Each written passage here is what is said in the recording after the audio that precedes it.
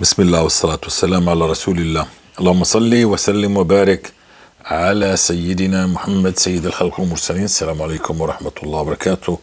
إخوتي وأحبتي في الله رب اشرح لي صدري ويسر لي أمري واحلل عقدة من لساني يفقه قولي. طبعا هذيك المسبحة مسبحة أمي والمسبحة الثانية 6800 كانت مسبحتي وهاليوم إحنا اتممت إن شاء الله كملنا. قرأت سورة البقرة والحمد لله رب العالمين. اليوم بده يكون الدرس شوي مركب شوي مركب. بدي أتكلم على الإخوة إيه الذين عندهم تعطيل يعني تابوا لازم الإخوة الذين لازم الاستغفار تابوا تركوا الذنوب في عندهم تعطيل. نتكلم عن سورة البقرة أربع مرات. نعم. أربع مرات سورة البقرة وهي الرقية التي تبطل كل الأسحار التي موجودة عندك. لكن خلينا ندخل إسا شوي في عنا قصة وفي عنا أخت كانت أن نذكركم فيها كانت لا تستطيع أن تستغفر كانت بصعوبة تستغفر فهي اليوم مستغفرة.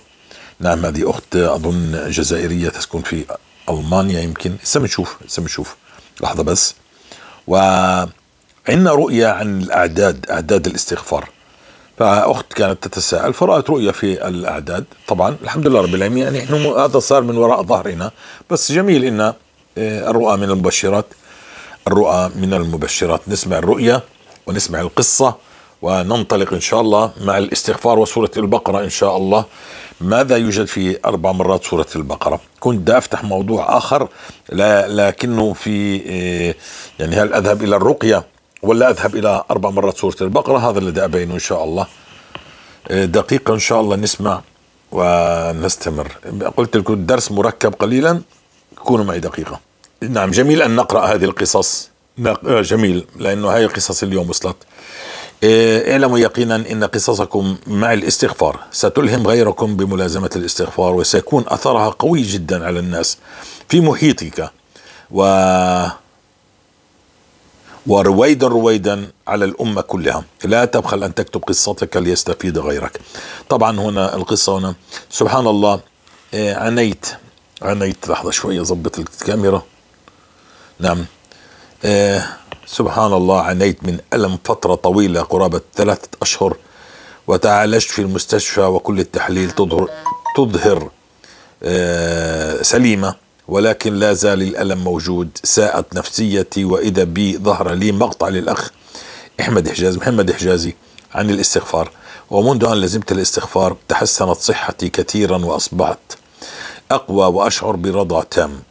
اللهم لك الحمد نصيحتي لكل محزون أو مريض أو مديون أو أيا كان همك إلزم الاستغفار وثق بوعد الله وستفرج كل همومك إن شاء الله.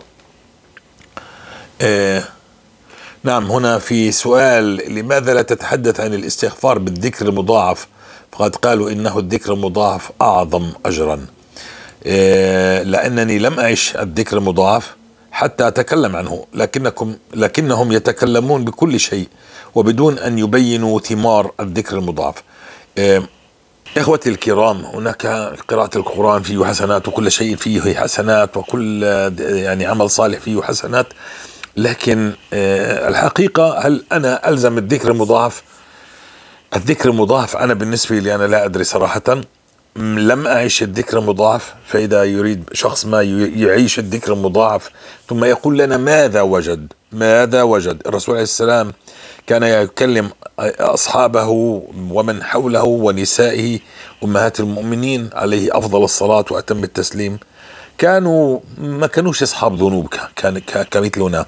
فكانت يعني كانوا أطهار. كانوا ما شاء الله تبارك الرحمن.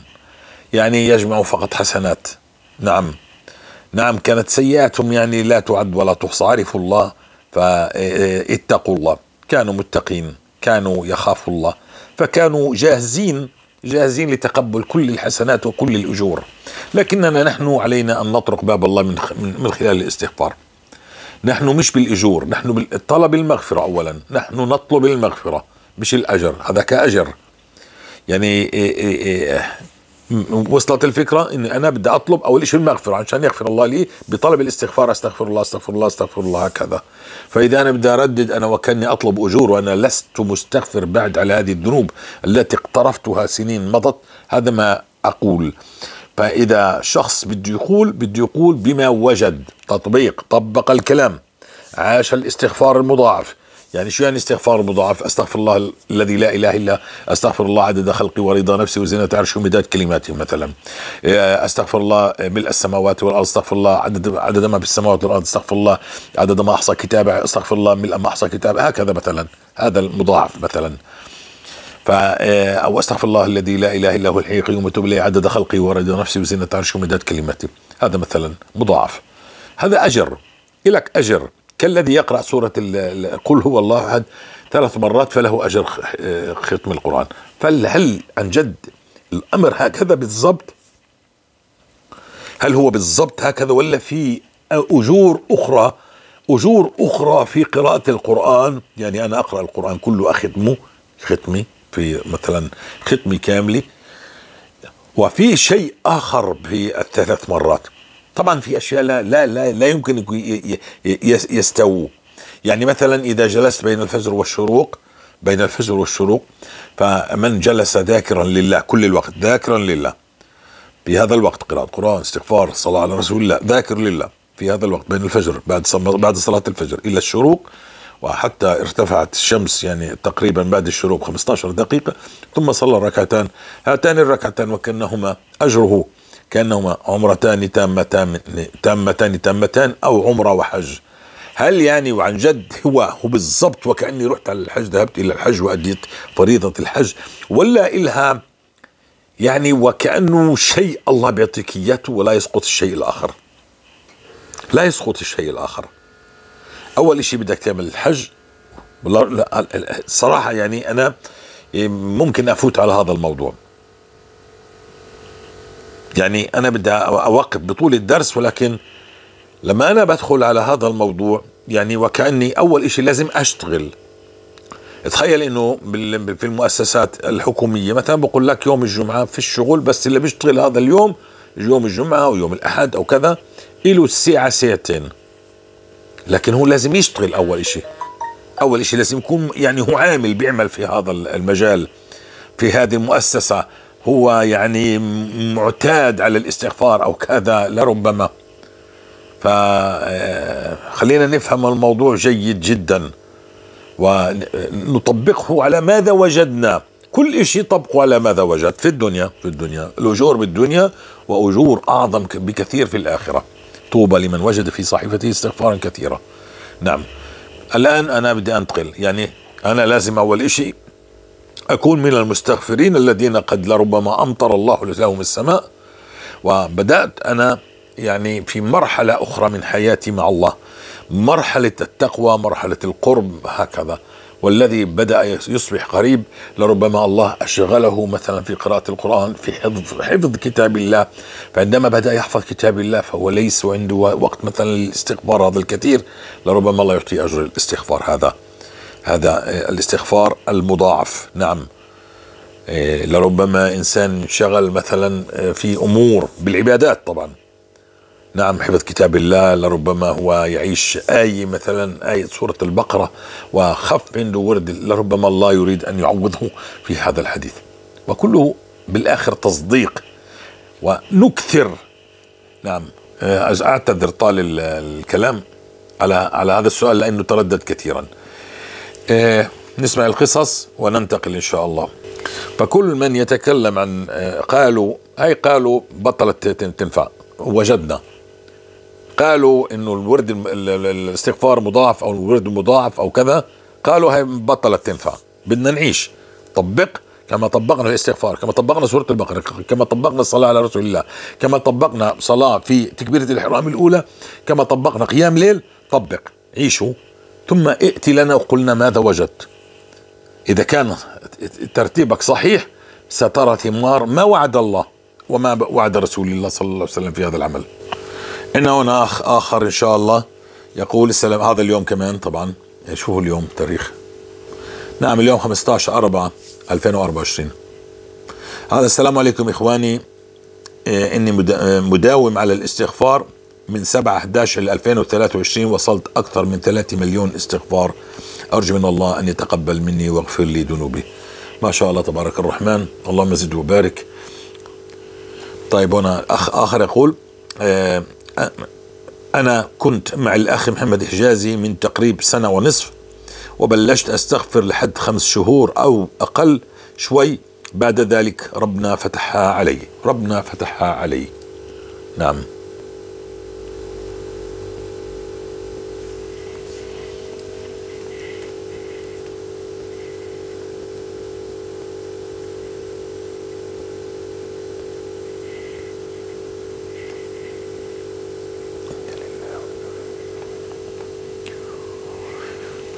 أعتذر أنا فكرت حالي وقفت الكاميرا. أعتذر عمال أشوف ال... كمان مرة أنا فكرت حالي وقفت الكاميرا. طبعا المسبحة آه، آه، يعني أمي تقريبا تستغفر باليوم عشرين ألف استغفار. الحمد لله رب العالمين. المسبحة الزرقاء هي مسبحتي. طيب إسا الآن نسمع القصص. سماعيا. في عنا رؤية بتكلم على عدد الاستغفار آه، الكثير إنه هو الأفضل. وعندنا أخت كانت كنا نزلنا قصتها في الماضي لم تستطيع أن تنطق الاستغفار. شيطانها يمنعها. نعم عندها مس عاشق لربما منحها من الاستغفار وهي الآن تتحسن الحمد لله رب العالمين. سنسمع صوتها وهي تستغفر. وقصة أخرى. في قصة جميلة جدا جدا عن الاستغفار لأخت عندها ولد. خلينا نبدأ بالقصة وبعدين نرجع لهذا للقصه للأمور الأخرى. بدنا نبدأ بالقصة أول أفضل عشان نختصر الوقت. البارحة بالليل اتصلت علي أخت أستاذة جامعية. هي الحمد لله تعرفنا عليها من خلال هذه الصحبة الصالحة. تقول والله لمدة ثلاثة وعشرين عاما لم أرى راحة ولم أرى طعم لرمضان إلا برمضان هذا. التزمت بالاستغفار وسورة البقرة والعبادات كليتها واتجهت إلى الله سبحانه وتعالى اتجاه السليم. فسبحان الله تخبرني بأنها لديها ولد من ذوي الاحتياجات الخاصة. تجلب له علاج من أمريكا ومن الأمازون وما أعرف شنو على هاي الطرق يصلها العلاج للبيت يعني هي مرتب عالي الحمد لله.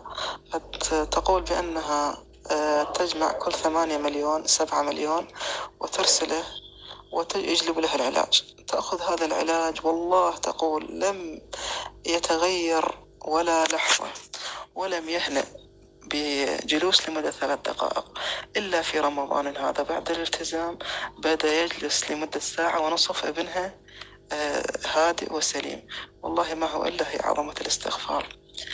آه، فسبحان الله يعني شوف الاستغفار غير أمور. بس الله سبحانه وتعالى يعلم بها. لا الفلوس ولا الشهادات. قدرت تغير مثل ما يغير الاستغفار. هذه مسألة. المسألة الثانية والله أنا ليست بمفسرة أحلام. والكل أخواتي من العراق ومن خارج العراق يسألوني عن التفسير. والله أنا ليست بمفسرة فأنا عبدة بسيطة إنسانة متواضعة لله. والله يعلم حالي ما هو.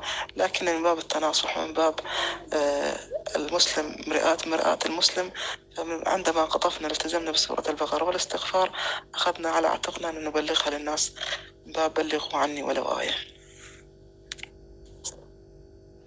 نعم جزاه الله خير. بالنسبة للرؤى كمان أنا لست معبر للرؤى ولكن الرؤية يعني مش رايحة تبين إنه يعني الرؤية على ظاهرها. بأغلب الأحوال على ظاهرها ستبين لك. يعني إن شاء الله إذا في مكان سحر كذا أمور إن شاء الله بتبين الرؤية لأنه لا لا يمكن أن تيجي رؤية وتفضح شخص بموضوع معين. نعم فعشان إحنا ننتبه. طيب آه نسمع هذه الأخت التي كانت لا تستطيع أن تستغفر. يعني الموضوع شوي مش متشعب. بده طول الدرس بده طول الدرس. بحاول اختصره مش عمال يزبط عشان نفهم شو مشكلتنا إحنا. مشكلتنا إنه إحنا هنا خليني أنتقل إلى هاي الخارطة. إخوتي شايف هاي الدائرة تحتها هاي الدائرة هاي الدائرة أنت موجود والأسهم مش عارف لأي ناحية لأي اتجاه. تتجه. تتجه للصلاة للذكر للاستغفار لقراءة سورة البقرة للرقية تتجه إلى الصدقات تتجه إلى قيام الليل تتجه مش عارف أنت لأي ناحية تتجه. ليش أنت مش عارف تتجه؟ هذا ماذا فعلناه في الماضي يعني لأنه إحنا فعلنا هذه الأفعال. إنه يعني التعطيل الذي كان عندنا رحنا عند راقي ورحنا والله هذا كله كلام أنا مسؤول أمام الله عنه. وقمنا قيام ليل عشان الله يخلصنا منه وذكرنا الله وكانت التسابيح على لساننا. صلينا قيام ليل صمنا اثنين وخميس. عملنا أعمال من الخير كفلنا أيتام. الحمد لله رب العالمين. تصدقنا. عملنا أشياء من كثير من الأعمال. كثير من الأعمال لكنها الأعمال ما وصلتنا للوجهه التي نريدها. والله جل في علاه عطلنا. عطل أمورنا. عطل أرزاقنا عشان ننتبه لشيء. ما هو هذا الشيء؟ هذا الشيء إنك أنت تعبد الله وتعرف أن الله هو صاحب الأمر في الأول في الآخر. طيب الاستغفار الاستغفار شو فيه الاستغفار؟ الاستغفار فيه وما كان الله معذبهم وهم يستغفرون. أول شيء لا يمكن أن الله يعذب مستغفر.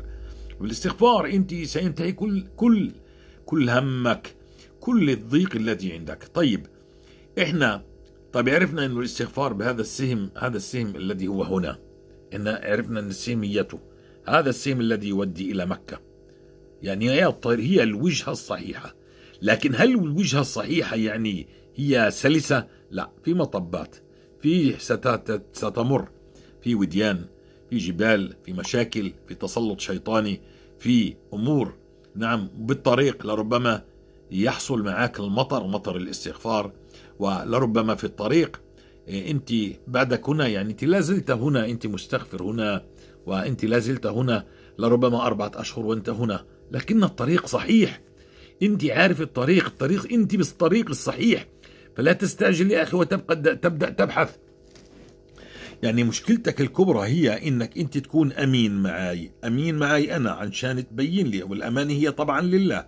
لأني أنا بقول لك اترك الذنوب ولربما انت مصر على ذنب وانت بتقول لي أنا عندي تعطيل ولا مش قابل ينحل.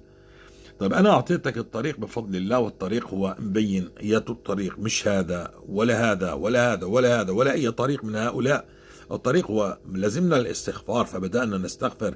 نعم في مطبات في مشاكل بين العائلة في أمور تعطلت لربما تعثرت أكثر لربما امتحان. نعم لربما الله امطرك ورأيت المطر وكمان مطر وكمان مطر ثم بعد ذلك لربما انحلت مشاكل. لكن لم يقضى دينك في مشاكل أخرى انفرجت انفراجات إيه، راحة بال أمور هكذا. لكنك تسير بالاتجاه الصحيح. مع الاستغفار أنت لازم الاستغفار ومكتم الاستغفار وأنت لازم الاستغفار. وأنت بالطريق الصحيح. أنت مش عمال لا تتجه يمنة ولا يسرى. أنت باتجاه الصحيح. فاستمر أخي اترك الذنوب استمر وستصل ستصل يوما ما. أنت على الطريق الصحيح. أنت بالطريق الصحيح. لا تيأس. هنا مكة. لا تيأس هنا مكة مش رايح إذا ذهبت لمكان آخر ستجد نفس ليس نفس الطريق. نعم سلكنا هذا الطريق ووصلنا بفضل الله. حبيت هاي الخارطة لأني أنا الدرس كنت بدي أعده لشيء آخر لكن هاي الخارطة ما بدي أضوحها. إنك أنت عندما تستغفر الله سيرزقك. المال موجود في الاستغفار. الولد موجود في الاستغفار. الصحة موجودة في الاستغفار. هدات البال موجودة في الاستغفار. نعم هناك تعاطيل لربما الله يريد منك أن تصبح داعية إلى الله. داعية مما وجدت مش مما قرأت. يريدك أن تدل الناس على الخير. كيف كيف الناس تصل إلى الله؟ كيف كيف الله يعني لماذا الله يعطل أمورها؟ وكيف الحل؟ فهذا أنا حبيت أني أبين لك. أنت تسير في الطريق. هذا اسمه الاستغفاريات الاستغفار. ماشيين إحنا مع الاستغفار مع الاستغفار مع الاستغفار. لربما هنا قلنا لربما في مرحلة هنا نأخذ سورة البقرة مثلا. عشان نستفيد أكثر وأكثر من الاستغفار والطريق لا زال صحيح. الآن أنا بدي أتكلم عن آه، آه، سورة البقرة بعد ما نسمع هذه الملاحظات إن شاء الله. في قصص وإن شاء الله آه، نست هذه الأخت سنتكلم إن شاء الله. خليك درس. أنت ماشي. أنا أنا تبت. أنا خلصت الذنوب. أنا كنت ساقط تحت المشاهير. مسلسلات أغاني طرب إعراس أروح على العرس على الأفراح وظلني من الصبح لآخر الليل. يلا الله ولا الله أكبر ولا شيء. كله فرح ورقص وط- وطرب. النساء النساء فليتقوا الله النساء. في تعليقهن النساء يعني يتهاون كثير جدا جدا جدا في موضوع التوبة ولزوم أوامر الله. ثم يقول الوضع صعب. ولا زال السحر متسلط عليه. تراها تذهب إلى الفرح وترقص. ما يكون ما بين أخوات هناك؟ ما يكون. يعني لربما عري هناك كمان لربما هناك يعني الله أكبر ما لا عين رأت. نعم. أمور عجيبة. وأنت موجودة ومبسوطة. طيب أنت يا المتدينة أنت المتدينة لموجودة في هذه الحفلة. هذه الحفلة الرقص والطرب. شو بت... شو بتقولي لل... للناس؟ تعالوا. شيء طبيعي. شيء طبيعي إحنا كمان المتدينات بنشاركوا بهذا الأمر. فهذا شيء طبيعي لا يغضب الله. وتظني إنك ستفرج لك. لا. لا. إحنا بدنا نمتثل لأوامر الله. إحنا بدنا نصبح السواد الأعظم. الامه في ذيل الأمم. النساء نصف المجتمع. النساء متهاونات جدا جدا جدا. ولربما سبب الانتكاسة هذه الأمة. طبعا الرجال ما أخذوا دورهم وضيعوا القوامة وضيعوا كل شيء. نعم ولكن العري والتكشف والتبرج والغناء وال خليها خليها لله. تعرفوا شيء يا جماعة؟ إحنا جماعة إحنا جماعة أقسم بالله يعني عجيبين عجيبين. إحنا جماعة عجيبين. نبحث عن أي نصر تبحثوا. أنت يا أيها المستغفر الله بين لك إنك أنت سيؤويك إلى كهف رحمته. أنت التائب سيؤويك سيؤويك إذا أمرت بالمعروف ونهيت عن المنكر. أنت مش فقط بدك تستغفر. أنت لن يؤويك الله لكهف رحمته ت- لم تأمر الناس. عن إلى المعروف وتنهى عن المنكر. وإلا بدك تروح أنت على هاي السهرات وتشارك أنت ولا تأمر الناس بالمعروف ولا تنهى عن المنكر وأنت موجود معاهم مبسوط ومكيف. وهذا كلياته يغضب الله ملكاش شيء عند الله. ملكاش فإذا حلت قارعة في المكان ستكون أنت أولهم. نعم. فلا أريد أن أوسع أكثر من هيك. لازم إنك أنت تكون أنت يا مسلم يا مسلمي يا مديني يا لازمة الاستغفار تكوني قدوة. أنا لا أشارك. في عليك واجب هذا أخوك واختك بتقد بتسقطي الواجب وترحلي من تلك المنطقة. ارحلي من تلك المنطقة. منطقة لا يحبها الله. نعم.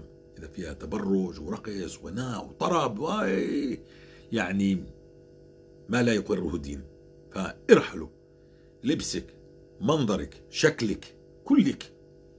ما تقولي الوضع صعب وأنا الاسحار مسلط علي لا زلت أستغفر. نعم الأمور تحلحت لكن بعد فيه.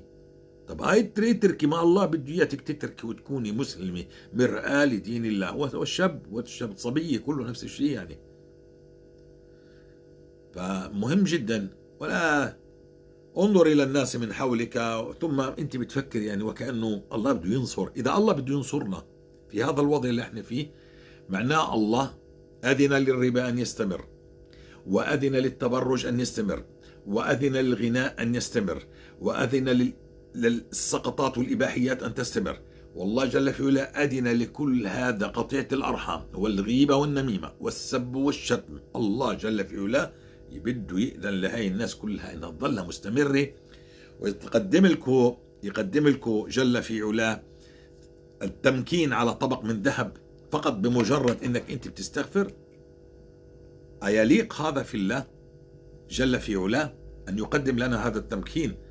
لا ربما في بضع أشخاص هم على حق. الفاهم يفهم. ألا يليق الله أن يمكن لك في كل هذا التبرج والتكشف والعري وقطيعة الأرحام والغيبة والنميمة والحقد والحسد والربا و و و و وما أيليق؟ ولا الله سيطهر. لكن الله قد يقلب الموازين في دقيقة. الحمد لله رب العالمين عندما أدخل إلى القناة وأجد أجد مستغفرين وجدوا ووجدوا ووجدوا خير ووجدوا فرج ووجدوا شفاء ووجدوا ضالتهم في الاستغفار والتوبة والرجوع أفرح. لأنه بالأول كنت أنا أتوب ولكن لا أجد شيء. كنت أتوب أحاول أتوب. نعم. ما كنت يعني لما أنت بتفهم أنه سيد الاستغفار محالك كل شيء فأنت مسموح لك تساوي كل شيء بينها هذا هو الفهم الذي فهمونا إياه. إذا أنا بدي أفهم إنه صيغة الاستغفر الله الذي لا إله إلا هو الحي القيوم وأتوب إليه تسوي لي تعمل لي إني أنا أرجع إنسان كما ولدتني أمي معناها إحنا نبقى في هذا الربا والغناء والطرف فقط نستغفر الله بهذه الصيغة. والله يعطينا الأجور العظيمة وما شاء الله علينا. أمي لا يا أخي يا أخي انظر حولك انظر في بيتك في زوجتك في أولادك في عيلتك في حارتك في بلدك في التلفاز. لما بتنظر بتشاهد المسلسلات ليل نهار عورية وتكشف وقيامة وقايمة يعني.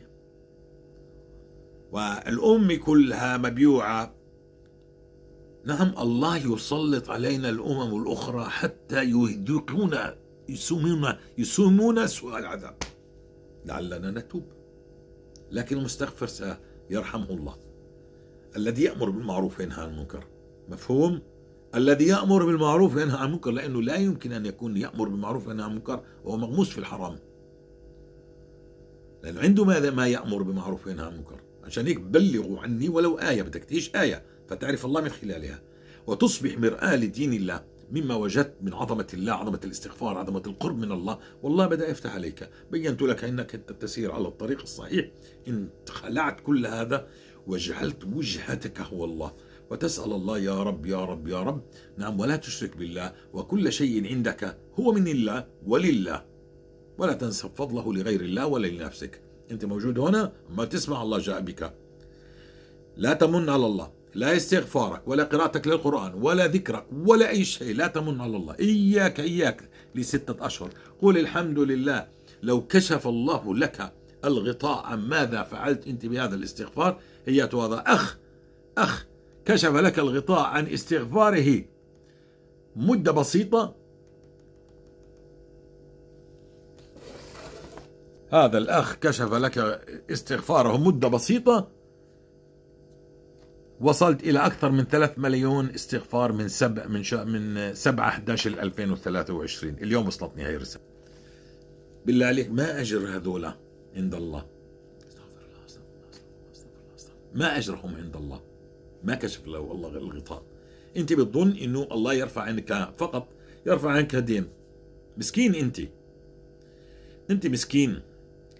الوالد يعني يا جماعة بده طول الدرس. الوالد الوالد اللي عنده عقارات وشركات وتجارات أو لربما أمير أو ملك هل سيأتي بابنه ويعطيه الملك ولا سيقسو عليه ويعلمه يعني كل أنواع يعني القساوة يعني حتى يكون رجل بمعنى الكلمة بيستاهل إنه يكون مسؤول عن هذه الشركة أو يدير دولة أو مؤسسة. يعني هيك خذها يا ابني أنا أنا أبوك وأنت ابني خلاص. ما بجمعة بأسبوع بخربها ببيعها كلها بفوت على حرب بيطلع بلا بلا ملك. صح ولا لا؟ ولله المثل الأعلى. الله يريد رجال يقوموا في هذا الدين. صحيح منعك عشان يعلمك. عشان تصير أنت معلم. أنت ما في عندنا نبي الآن. فأنا نحن الآن نعيش آيات. كل واحد بيعيش آية ببلغها. نعرف الله من خلالها. بتغير حالنا بصير حالتنا طيبة أمورنا طيبة. نعرف الله نسأل الله بيستجيب. هذه حقيقة.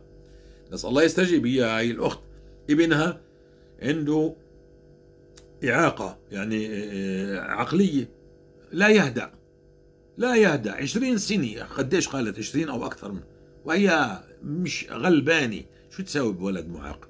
بالله عليك شو تساوي يعني ولد عنده مشاكل عقلية. شو تساوي مع هذا الولد؟ وبخرب البيت وبدمر البيت وبكسر البيت وب... لا يهدأ. شو بدك تعمل معه؟ شو؟ هو بلاء ولا عقاب؟ هي بين انه كاين عقاب. بعد ما لزمت الاستغفار هي دي الولد. هذا الولد. شفتوا يا جماعة لا يعذب الله مستغفر. الآن هذه المرأة بعد ما لزمت الاستغفار عرفت عظمة الاستغفار ستدخل على البلاء. البلاء اللي فيه أجر أجور أجور أجور عند الله. بالأول كنا عقاب مش عارفين الله مش عارفين ليش هيك بتصيبنا ليش هاي الأمراض ليش هيك. لا نريد أن نفعل ولا شيء. معي فلوس بدي أشتري راحتي بالفلوس. ما شرطها بالفلوس معها فلوس. ما شرط راحتها في الفلوس. معها شهادات ما شرط راحتها في الشهادات. ما ساعدها شيء أن يرفع عنها هذا الذي كانت فيه مع ابنها لا شهادة ولا مال عشان تعرف إن الله جل في يريدك أنت. والله لو تركنا الله لحالنا والله لكبنا في جهنم. نعم أنا صحيح بدي أقضي الدين. طب الله أحكم الحاكمين. الله يعرف. قال ربما الله ربط على على الذي هو صاحب الدين. ربط على قلبه وأنت لازلت حكلان بدي أدفع الدين بدي أدفع الدين. فالله يريد التصديق. ومهما حدث يعني الرسول عليه السلام مش كسرت رباعيته ما هو رسول الله. ليش تكسر؟ بالله عليك. لو كنت أنت مكان أبو بكر رضوان الله عليه وراء رسول الله الذي بعثه الله جل في علاه مكسر اسنانه رباعيته وأنا إسنانه مكسرات؟ والله لا يمكن واحد واحد مثلك أو مثلي يقول شو أي رسول هذا؟ وين رب وين ربه؟ ليش ما يحمش ربه؟ صحيح لا. وانت لربما تقول اليوم تقول طيب ما انت بتستغفر ليش الله لا يحميك؟ طيب ما هو رسول ليش هاجر الرسول عليه السلام؟ لماذا اختبأ بغار ثور؟ لماذا يعني كان يعني خروجه في تمويه؟ نعم لماذا جعل سيدنا علي مكانه عندما خرج من من الغرفة التي كان فيها وجاء عليهم كفار قريش لماذا ماذا قال الصحابة بالأخص أبو بكر وعمر وسيدنا عثمان وسيدنا علي؟ ماذا قالوا عنه يعني؟ كيف آمنوا يعني؟ طب آمنوا بأول مطب إنه الرسول عليه السلام كان مطارد وين ربه لكانت هذا مثلا استغفر الله. يعني بس أمثل لك.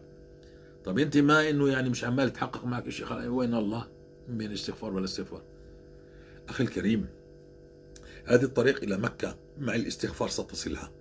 لكن المشوار فيه طول. لربما انت أسرع مني أنا أسرع منك. لربما في مطبات لربما انت كنت مساوي مشاكل أكثر مني. نتفاوت نتفاوت في الإيمان نتفاوت في التصديق. فالله يريد أن يبني منك رجل. ما بينفع ما إني أنا أستغفر؟ استغفر الله استغفر الله. مطر الله أكبر. جاء واحد معه فلوس وقضى لي الدين خلاص يلا يا جماعة كل واحد يمسك مسبح ثلاث دقائق والأمور تنتهي. أي دين هذا؟ 23 سنة والرسول عليه السلام مطارد مطارد ويتنزل عليه القرآن. ومن أعظم آية أنا قرأتها يعني وقشعر لي ولا تعجل بالقرآن من قبل أن يقضى إليك وحيه وقل ربي زدني علما. بتخيل الرسول عليه السلام يقرأ هذه الآية وهو مطارد ويتربص به الأعداء يريدون قتله؟ بالله عليك. كان جاب القرآن كله كتاب واحد مرة واحدة وخلص من الموضوع. عشان إذا والعياذ بالله أصابه شيء خلص وصلت الرسالة. لكن الله جل في علاه بيقول له ولا تعجل بالقرآن من أي من قبل أن يقضى إليك وحيه. وقل ربي زدني علما. فسبحان الله يعني هذا إنه يعني نزل في 23 سنة القرآن. نزل طبعا إلى السماء الدنيا دفعة ثم شوف الأحداث. فيا أخي الكريم الله يريدك أن تكون إنسان مسلم. مؤمن تعرف تتعامل مع الله وتدل الناس على الخير. فطريقك بالاستغفار أنت مشيت صحيح. لا تجعل إنك أنت تتشتت أنا أنا لما بدي أصلي بصلي هذه القبلة. هذه قبلتي كيف أنا جالس؟ طب أنا بدي أمشي. بدي أروح على على مكي مشيا. طب بدي أمشي هيك. بدي أمشي بهذا بهذا الاتجاه. أروح لهيك هذيك الناحية؟ لهذاك الاتجاه؟ لما ماذا يوجد في هذاك الاتجاه؟ في بحر. مفهوم؟ فأنت بالاتجاه الصحيح. الطريق طويل عليك مش متعود على على المشي. كنت مترف كنت مكيف كنت مبسوط. طلعت من الحفلات طلعت غرقان في ديونك. لما كنت أنت تلعب بالفلوس وغرقان بالشهوات ومكيف على النساء وعلى البنات وعلى على الأغاني وعلى الطرب ويقولوا لك اتق الله ما كنتش تتقي الله. كنت مبسوط. لما الله وقف كل شيء فأنت بدأت صعب عليك. مخشش الرسول عليه السلام قال اخشوشنوا فإن النعم لا لا تدوم. فأنت مخشش مخشش اخشوشنوا بخشوشنت بقيت مترف منعم. جاءت الساعة اللي خلص. عليك ديون نعم. حاولت تفك كربك في الدين في الفلوس فندنت أكثر وأكثر. بعت العقارات. ما فهمتش إنه موضوعك إنك أنت تسيء الأدب إلى الله وتذنب وتظن إنه فلوسك منك. مناسب كل شيء لنفسك. فخلينا نسمع عشان بالفيسبوك 35 دقيقة بنتهي التسجيل. أختي أم رفيضة في موضوع نعم هذه رؤيا هذه الأخت رأتها فتتكلم عن كثرة الاستغفار. أختي أم رفيضة في موضوع كثرة الاستغفار. كانت بزاف تجيني في هكا مقاطع نشوفها في اليوتيوب على تحديد العدد. كل واحد كيفاش يقول انك تستغفري بخشوع وقلة الاستغفار أو بالاستغفار آه، كامل. آه، أحسن من انك تستغفري بأعداد وانت ماشي مركزة. سبحان الله في يوم آه، العيد الثاني يوم عيد الفطر الثاني بالذات والله إني في منامي شفت منام على أني في مسابقة أو على أني في تحدي من هو الأحسن؟ كثرة الاستغفار أم الاستغفار بقلة؟ وكل في ذاك المنام هذاك شغل شفت إني إني نستغفر نستغفر نستغفر عدد كثيرة كثيرة كثيرة كثيرة كثيرة بزاف حتى رجلي اليسرى هذيك شغل بدات فيها أعراض إنك ألام كثيرة في رجلي تخرج من رجلي. سبحان الله كأنه رد على سؤالي كأنه رد على سؤالي بأنك كثرة الاستغفار حاجة عظيمة وأن كثرة الاستغفار هي اللي فازت. سبحان الله. في ذاك المنام تاعي كي نضت أنا بديت نقول سبحان كنت جد كيما كل ما تفطن عيني نلقى روحي نستغفر كنت دايرة المسبحة في يدي ما كيف فطنت مع الصباح وقلت سبحان الله. هذا هذا هذا رد على التساؤلات اللي كان دائما تجيني ولا ما فهمت والله ما فهمت واش المغزى المهم اللي فهمته إني في ذاك المنام إني كثرت الاستغفار في المنام. يعني الطريقة اللي رانا عليها حنايا سبحان الله هو الصح والله. طيب يا اخوتي الكرام لربما اني أنا اتبع درس آخر بموضوع سوره البقرة أربع مرات فأعتذر لأنه طال الفيديو. خليني أسمع القصة الثانية أعتذر سأعود أخرج لأنه سيطول لأنه بال... إذا بدي أنزل هذا الفيديو اذا أنزل هذا الفيديو. على الفيسبوك 35 دقيقة انتهت فمش رايحين يفهموا شو تكلمت عن سورة البقرة. فإحنا إن شاء الله مع الاستغفار لا يعذب الله مستغفر إحنا بالطريق الصحيح. صبر جميل سترى انفراجات سترى مطبات. هذا عشته أنا ويعيشه المتابعين ولو كشف الله لك الغطاء عن ماذا يعد لك الله؟ لقلت يا رب لا لا تفرجها علي. نعم لكنك أنت الآن بدي هذا الأمر. ماذا يقول أهل غزة؟ دائما قول ماذا يقولوا أنت قول كذلك. إن شاء الله أنه أمرهم إلى خير وأنت أمرك إلى خير إن شاء الله. قليل إنك أنت وجدت ضالتك. كما إحنا كنا نتابع نتبع. الذنوب هي الطامة الكبرى وعدم معرفة الله هي الأكبر والأنكى هي أنك أنت لا تعرف الله. والله يريد منك أن تبلغ آية عنه من آيات التي ذكرها في كتابه. تسمع هذه الأخت لماذا لا تستطيع أن تستغفر؟ ثم لزمت الاستغفار والله فتح عليها بالاستغفار. الحمد لله رب العالمين. سلام أختي. أنا كي قبيل صفت لك ميساج راني مشيت. هذه الأخت لم تستطع بالبداية أن تستغفر. تسمعها هسه الآن؟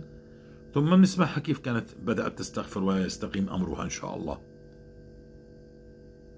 نسكن جيت لألمان نمشي نفوت على سلام أختي. أنا كي قبيل صيفط لك ميساج راني مشيت كيما مغنيه تلمسه نسكن جيت لألمان نمشي نفوت على عينيا. هاكي نقول استغفر الله ما نقدر. استغفر استغفر أستغفر الله.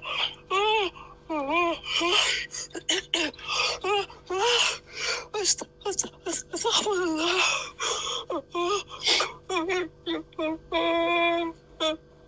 أستغفر الله. قدس السلام. الحمد لله. الحمد لله. الآن هي هذا صوتها بعد مدة من لزومها الاستغفار. تغير حالها إن شاء الله.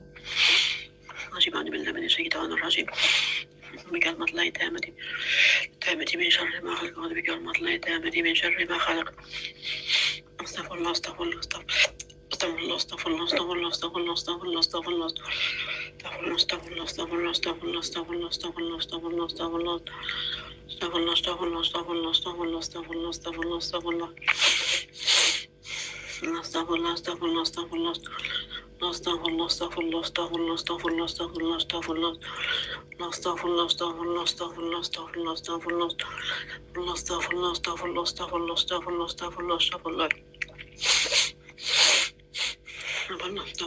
الله استغفر الله استغفر الله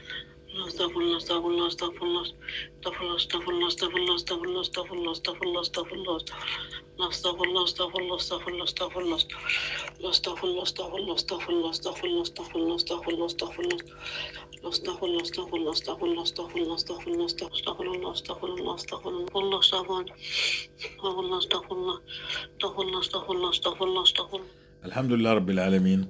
نرجع للورد المضاعف بس هيك كلمتين.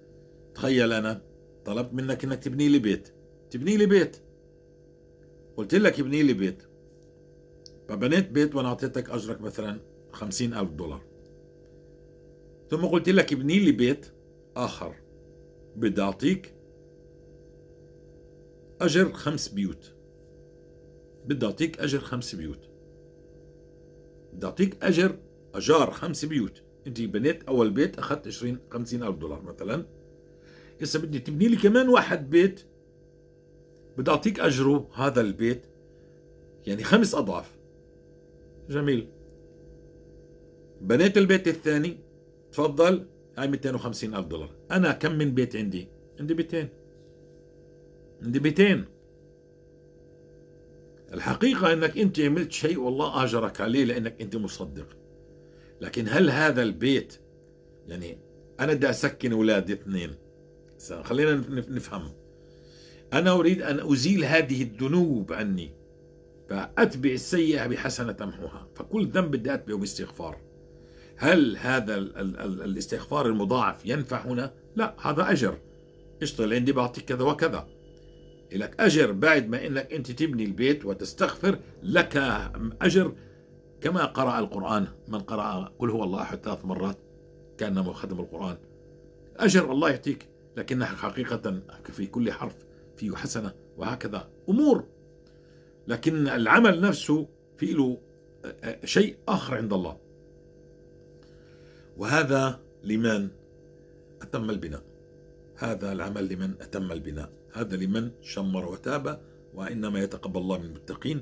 ودخلنا على درجة الإيمان. نعم فنحن في درجة الإيمان مش بدرجة الذنوب وال وال وال والسقطات.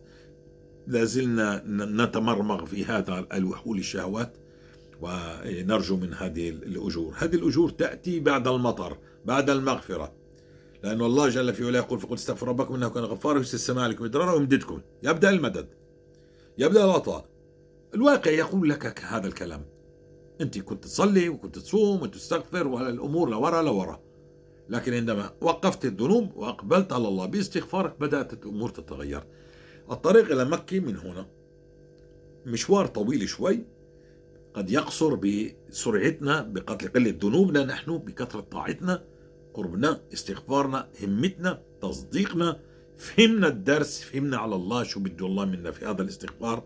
فهمنا إننا نبلغ آية مش فقط بدنا نقضي الدين مش فقط بدي الولد بدنا نبلغ دين الله وأكون أنا على خلق حسن وأنا لا أتواجد أين يسخط الله. ولا أكون في هذه الأماكن التي لا يرضاها الله ولا ألبس ما لا يرضي الله ولا أكل ما لا يرضي الله ولا أخذ القروض الربوية ولا قاطع للأرحام ولا كذا ولا وكل هذا. وبعدها أبشر أبشر أبشر يا أخي الكريم. فنحن نتفاوت وهذه القصص تسمعها هل اليوم فكرت إن يكون عندك مثلا 10 ملايين استغفار في صحيفتك. هل يوم فكرت كنا كنا نستغفر في الماضي لربما باليومين ثلاث مرات. باليومين ثلاث مرات ثلاثة كنا نصلي ونمشي. فجميل الحمد لله رب العالمين. أنت على خير. ستصل إلى مكة. يعني ستصل إلى النقطة إلى قضاء الدين إلى الحياة الطيبة وستبلغ الآية وستكون من خير أمة أخرجت للناس. ولا سيكون أمرك على خير. الله يجزيكم الخير ويبارك فيكم. سأتكلم إن شاء الله عن إبطال هذا التعطيل لمن تاب وآمن وعمل صالحا لكنه لا زال في تعطيل. ولماذا هذا التعطيل؟ لأنه الله بده يعلمك الله بده يعلمك ما ينفعش تضلك أنت بتفهمش شيء الناس ما كانتش فاهمة شيء كانت تقرأ بالكتب. واحد يقرأ عن الثاني. اقرأ اقرأ اقرأ. من عمل؟ ولا حدا هذا حلل كلامك وأنا حلل كلامه والعالم الفلاني علمه. حلل فلان كل واحد بحلل علام الكلام الآخر. من الذي عمله؟ ابن تيمية عمل الصحابة عملوا التابعين عملوا بما قالوا عملوا بالاستغفار. سيدنا هريرة كان يستغفر 12000 مرة. ابن تيمية يقول كانت إذا أشكلت علي مسألة كنت أستغفر الله ألف مرة. أبي بن كعب يقول أصلي على رسول الله فلازم الصلاة على رسول الله. وهكذا كانوا عاشوا. إحنا بقينا نتكلم ماذا فعلوا هم. اليوم رجع الزمان اللي إحنا نعيش عشان نعلم البشرية بإذن الله تعالى. كيف يطبق كتاب الله؟ وكيف نقطف ثمار كتاب الله؟ وكيف نعرف الله من خلال الآية كانت بالأول تنفع نسخ ولصق اليوم ما بتنفع. بدي أعيشها عشان أجي إليك وأقول لك هذا ماذا سيتأتى من؟ عشان يصير في ثقة في دين الله وفي ثقة في الله وثقة في نفسي في ديني إني أنا على الحق. وأن مكة بهذا الاتجاه. يعني البوصلة تبعتي صحيحة. سأصل إلى مكة بإذن الله تعالى. وإن شاء الله سيكون أمري على خير وأعرف الله وأموري طيبة ومن عمل صالحا من ذكر أو أنثى ومؤمن فليحين حياة طيبة. إن قرأت الذكر المضاعف إلي أجر وإن قرأت الفاتحة الفاتحة أربع مرات وكأني ختمت القرآن. وإن قرأت قل هو الله أحد ثلاث مرات كأني ختمت القرآن. وإذا قرأت آخر آيتين من سورة البقرة كفتان وهكذا الله يبدأ يعطيك كل شيء. اليوم أنت اليوم في لك. اليوم أنت بعدك مغموس في ذنوبك حتى يستقيم أمرك وتبدأ تبلغ. مش شو بقول أبو أحمد شو أنت وجدت؟ جميل إنك تدل الناس الان على قناتي لكن بدك أنت تعيش عشان تبلغ ما بقول اللي بقوله أبو احمد وتخرج للناس تأمر الناس بالمعروف وتنهى عن المنكر. أعتذر الفيديو بيطول لكن سنتكلم إن شاء الله بالفيديو الآخر إسا عن سورة البقرة ونبطل هذا التعطيل إذا إحنا أمورنا ماشي ولكنه في لا زال تعطيل. أربع مرات سورة البقرة. اشرع فيها سينزل معك ورد الاستغفار قليلا يعني أربع مرات ربما ساعتين ونص. نعم ساعتين ونص. خليهن ثلاث ساعات طيب وباقي النهار شو بدك تساوي؟ ما انت بالشغل بالبيت بالسيارة بالسوق عند أمك عند أبوك رايح جاي متنقل. أستغفر الله أستغفر الله أستغفر الله. تجلس جلسي. تقرأ سورة البقرة مرة واحدة داخل البيت من المصحف بصوت مسموع. بصوت مسموع و آه آه نعم داخل البيت من المصحف. بصوت مسموع مرة واحدة هي داخل البيت. وممكن أن تتم الباقي في المسجد أو الباقي كله بداخل البيت. وممكن أنك تقطع يعني تقطعها يعني نصفها ثم بعدين ترجع تكمل نصفها. نعم هكذا. لكن ممكن أنك تتمها على جلسة واحدة أنت حر. مفهوم؟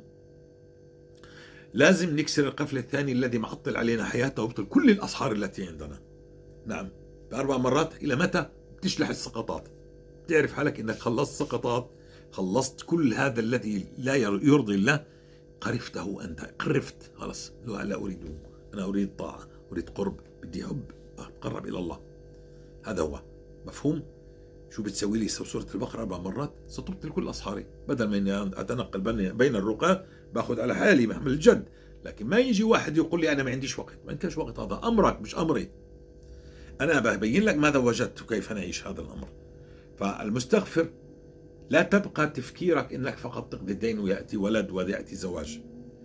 إذا الله كتب لك سيأتي كل شيء لكن خلي البوصلة متوجهة إلى مكة يعني إلى رضا الله، إلى رضوان الله، إلى معرفة الله، إلى أن ننشر دين الله ونبلغ آية عن رسول الله. نعم. ونكون من خير أمة أخرجت للناس، ولا نشرك بالله شيئا ونأمر الناس بالمعروف وننهى عن المنكر. مفهوم؟ ما هو أنا الله بيعذبني بسقطات لا أستطيع تركها فالآن ندخل على سورة البقرة. أنشاء من أفعال سورة البقرة هي تحلق هذه الأنا تحلق هذه السقطات كلها. أفعال سورة البقرة. إذا أكثرنا. والمدة شهرين ثلاثة أربعة خمسة لا أدري بالضبط. نتفاوت. الاستغفار لا يترك أبدا أبدا حتى تلقى الله. لو بألفين لو بثلاثة ألاف استغفار. وسورة البقرة لا تترك إلى الأبد ولو مرة واحدة في اليوم.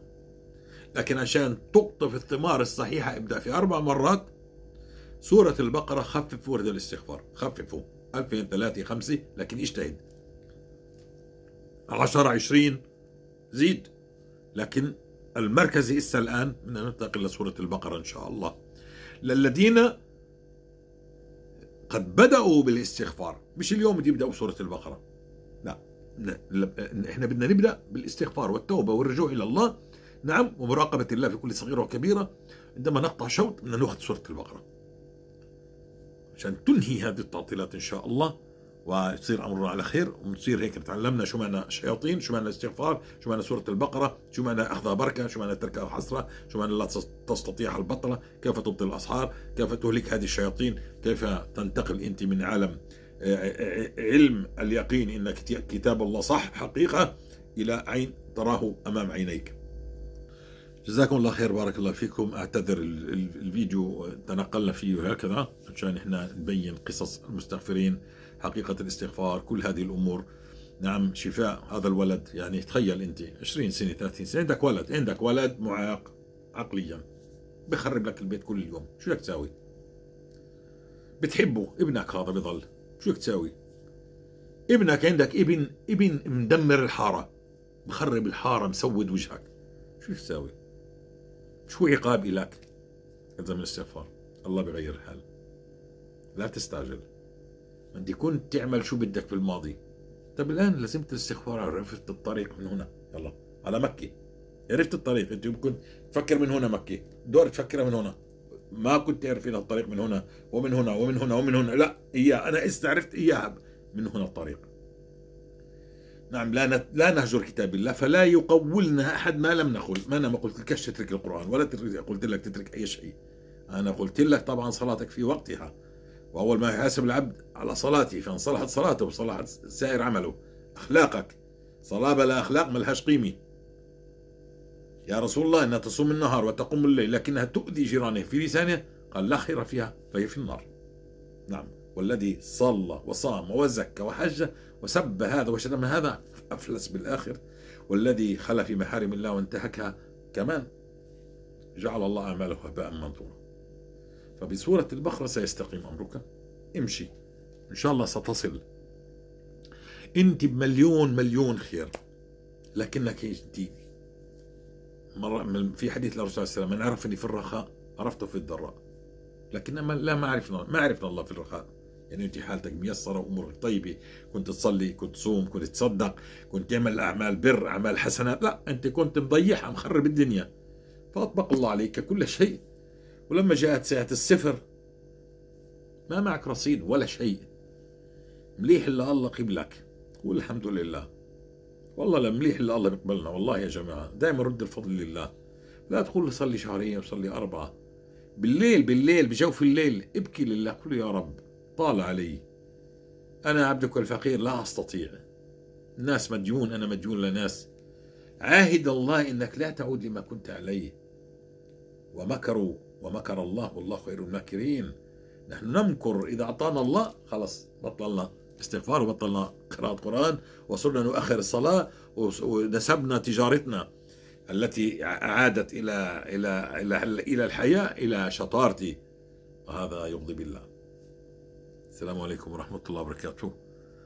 آه نستمر إن شاء الله بالقرب وأنت على طريق الحق وأنت إن شاء الله على خير. وتذكر إنك بدك تبلغ جئت لقنا تبلغ آية.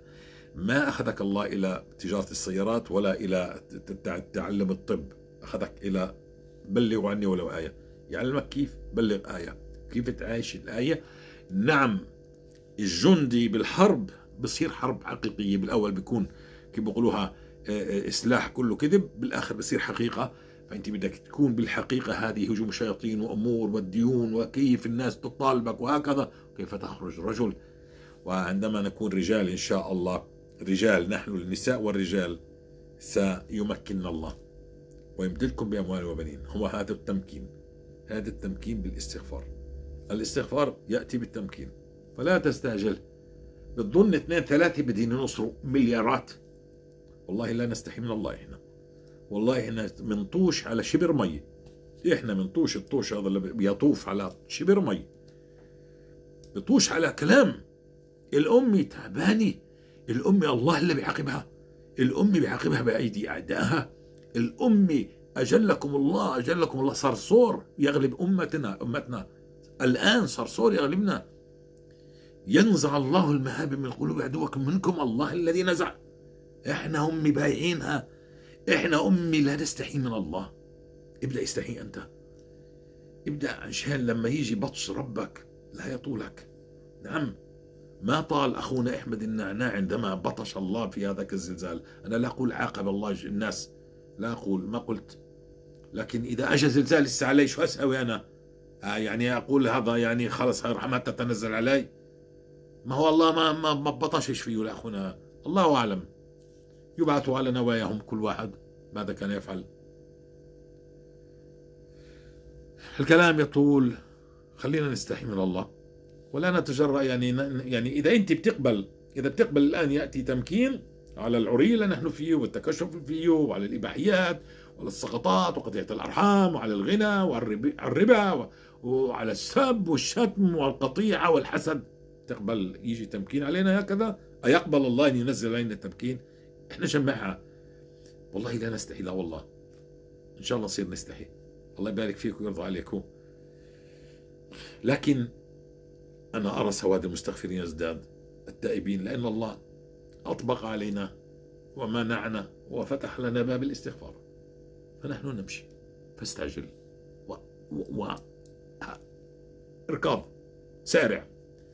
وسترى الفرج إن شاء الله. إنما وعدهم إذا تبنا إلى الله الصبح. أليس الصبح بقريب؟ قد يقلب الله الموازين في دقيقة.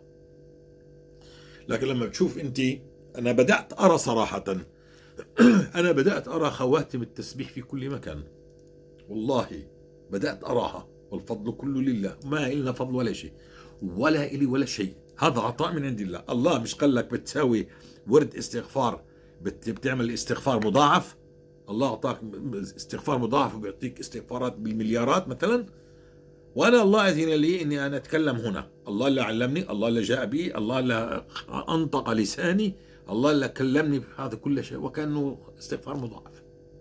والفضل كله لله والمنصة هذه لله وال وال والإنترنت كله لله والموبايلات كلها والبث هذا كله من عند الله. فلا نعمل حالنا شيء. عندما ترى سواد المستغفرين كثر أبشر أبشر أبشر. لأن المستغفر كان ممنوع كان مكروب. مستغفر وجد ضالته في الاستغفار والتوبة والرجوع. عرف إنه في ذنوب لا يمعاها الله. لا بسيد الاستغفار ولا بالاستغفار المضاعف ولا بأي شيء. وقف. إلى هنا وبس انتهى الموضوع معك أنت تتجرأ على الله بهذه الذنوب. أنت لست إله. عليك أن تتوب وتأتي صاغرا إلى الله وتعرف أن لك الرب يراقب. ولا يقبل إلا من الطيبين. ويريدك مرآة لدينه تدل الناس على دين حق طيب فيش ربا فيش ربا فيش ربا فيش غناء فيش طرب فيش إباحيات فيش سقطات فيش عري فيش في أنا ما فيه فيه فيه أخلاق عالية جدا جدا. فيش علاقات محرمة فيه تعامل كله حلال. هذا الذي يريده الله منا.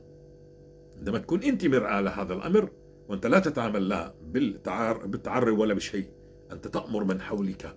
والباقي على الله. نعم سيدنا نوح سيدنا لوط لم يستطع أن أن أن يدل زوجته على أكثر من أنه بين لها. وسيدنا نوح ما استطاع أن يدل ابنه. يا بني اركب معنا قال ساوي إلى جبل يصل أنت بتبين. والباقي على الله. نعم. فأنت تأمر بالمعروف. قال لما تعظون قوما الله مهلكهم أو معذبهم عذابا أليما؟ قال معذرة إلى الله عشان أنجي نفسي. أنا بنجي نفسي إذا أمرتك بالمعروف نهيت. فتأمر في بيتك وإن شاء الله الله لا يريك شر في أولادك ولا زوجتك ولا بيتك ولا حولك إن شاء الله. كل من يعني بوجع قلبك إذا فيه شيء سيغير الله حاله. بهذا الاستغفار وشفنا ورأينا آلاف عشرات آلاف القصص. الحمد لله رب العالمين. الله يبارك فيكم ويرضى عليكم وأعتذر على الإطالة. سأتكلم عن أربع مرات سورة البقرة. عشان نقضي على هذا التعطيل وهذه الأسحار التي تغص حياتنا. والسبب الله يريد أن يعلمك. متى يرفع البلاء؟ عندما تعرف أنك أنت في مدرسة. الله عمال يربي فيك. الله يعلمك. عشان يخرجك لتأمر بالمعروف وتنهى عن المنكر. من أمور حقيقية عشتها مش من أمور قرأتها. فقط قرأت وقرأوا وقرأوا يأتوا بقصة مثلا على سبيل المثال على سبيل المثال قصة الإمام أحمد كم مئة سنة صلى طبعا على اليوم عندنا عشرات آلاف القصص. جزاه الله خير الإمام أحمد. ما هي مشابهة لك نفس القصة. الحمد لله رب العالمين. عندما تعيش ستجد آلاف بل عشرات آلاف القصص. ستجد أمة تنهض. ستسود العالم هذه الأمة بالاستغفار بالتوبة بالرجوع. وتعرف أن الله يراقبها والله يعطي. لأن أتيتني عبدي مشيا أتيتك هرولا فأنت أقبل على الله بأنك لا يزال عبدي يتقرب إلي بالنوافل حتى أحبه. في حديث من عاد لي وليا. فاعمل كل عمل. الله ذنوبك. بتحطم أمورك. بتحطم كل أمالك. مفهوم؟ فهي شوية صبر. يعني شوية صبر وإن شاء الله ستبدأ الفتوحات. الله يبارك فيكم السلام عليكم ورحمة الله وبركاته.